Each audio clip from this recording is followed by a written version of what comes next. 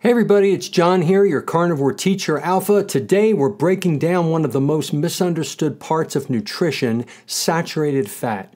No seed oils, not polyunsaturated industrial sludge. I'm talking about the real, natural animal fats, tallow, suet, butter fat, duck fat, lard, ghee, marrow fat, the fats that humans have eaten for thousands and thousands of years and thrived on.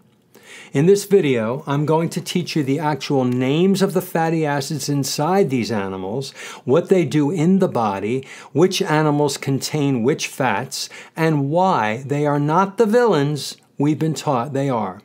Let's go. What is saturated fat really? Saturated fats are fatty acids where all carbon bonds are saturated with hydrogen. This makes them more stable, less prone to oxidation, naturally solid or semi-solid at room temperature, ideal for high heat cooking, preferred structural fats for the body, cell membranes, hormones, insulation, brain tissue. Now, unlike unstable seed oils that break down into toxic aldehydes when heated, saturated fats remain chemically stable which is why traditional cultures cooked with tallow instead of soybean oil. Let's take a look at the major saturated animal fats. Butyric acid. It's a short chain saturated fat.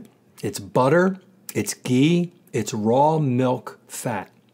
It fuels your colon cells, it is anti inflammatory, and it is gut healing. Butyric acid.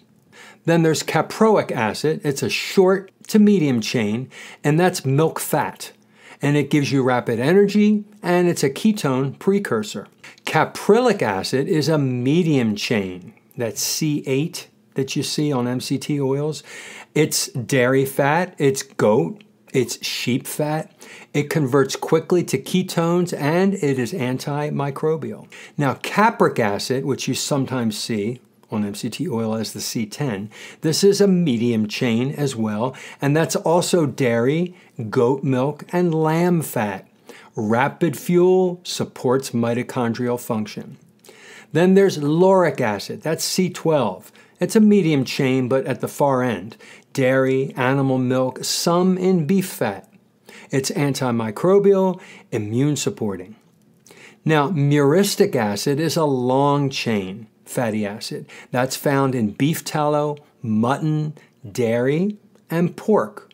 This supports testosterone and cell signaling. Palmitic acid is really long, C16, and that's in beef, tallow, duck, fat, eggs, and suet. It's a main structural fat in human body and breast milk. And then there's stearic acid, C18. That's a really long chain fatty acid, and that's found in beef fat, lamb fat, cocoa butter, and marrow. It's neutral on cholesterol, raises HDL, promotes fat burning.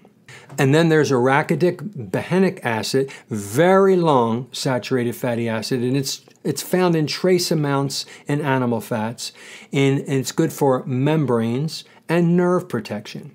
Now, the key points for you to remember is human body fat is mainly palmitic and stearic acid, meaning the body prefers saturated fat as its storage and reserve fuel. So let's take a look at the different animal fats and their profiles. Beef tallow is a mixture of stearic, palmitic, and myristic. Very heat stable, ideal for deep frying, high in vitamin K2 if it's grass fed. Then there's suet, which is the fat that comes from the kidney area. Highest stearic acid of all edible fats. It burns cleanly, highly ketogenic, and it's hard at room temperature. Now, bone marrow is stearic, palmitic, and some monounsaturated fats. Traditional for primal food, and it's highly nourishing. Butter and ghee, butyric acid, myristic acid, and palmitic and stearic acids. Butyric is gut and colon fuel, contains fat soluble vitamins A, D, and K2. Do you hear the word butyric butter? Do you hear the word but butyrate? That's where beta hydroxybutyrate comes from. That's a ketone body. that's found in butter. Duck fat is palmitic and some unsaturated fats. It's softer fat. It's great for roasting, and chefs love this for flavor. Mm. Lard is pork fat. It's a mixture of saturated and monounsaturated fatty acids. It's slightly higher in polyunsaturated fatty acids due to modern feed, and pasture raised lard is best, of course. Then there's lamb and mutton fat. That's stearic rich, very stable, structurally similar to beef tallow but more pronounced flavor. The egg yolk fat is palmitic, stearic, and myristic fats. Also contain cholesterol, which is a precursor to hormones, vitamin D, and all the wonderful things that cholesterol provides for us. And dairy fat is butyric, capric, caprylic, and myristic fatty acids. Short chain fats, that means microbial plus immune benefits. Now, all the animal fats have a very small amount of polyunsaturated and monounsaturated fats in them, which we absolutely do need, but we only need microscopic amounts. When we consume seed oils, a lot of polyunsaturated fatty acid, it's way out of balance. This is why saturated animal fats, like the ones I mentioned, are the healthiest. You're getting that good saturated fat with just the tiniest amount of mono and very little poly, which you do need a tiny bit of. Now, notice the pattern. The closer it is to the animal's body temperature, the softer the fat. Isn't that interesting? The colder the animal lives, the harder the fat. Nature designs the fat to match survival. I think that's pretty cool. So, why saturated animal fat is not the villain? The older fear of saturated fat was based on weak 1950s epidemiology, not modern biochemistry. Modern research shows that saturated fat raises HDL, the good cholesterol.